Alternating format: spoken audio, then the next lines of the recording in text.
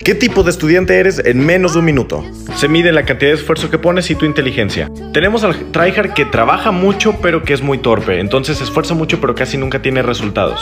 Después tenemos al alumno gris, este es el que no llama mucho la atención, no es de los peores pero tampoco de los mejores. Es torpe pero tiene un esfuerzo normal. La causa perdida es cuando son flojos y aparte son torpes. El estudiante promedio generalmente es la niña de los plumones. Esta es la personalidad que más molesta a todo el grupo. Trabaja mucho, pero es de inteligencia promedio. Después tenemos al alumno promedio, que es donde está la gran mayoría. Se esfuerza normal y tiene resultados promedio. El alumno apático es el que no se esfuerza mucho, pero tiene resultados ah, normales. Generalmente los maestros lo apoyan para que aumente su categoría. Después tenemos al superhéroe. Tenemos al que trabaja un montón y es que es súper inteligente. Tenemos al mago. Este se esfuerza normal, y tiene resultados increíbles. A la gente le molesta, pero a veces pasa. Y el potencial desperdiciado es cuando es un genio, pero es muy flojo. Coméntame cuál eres de estos. Yo soy el mago.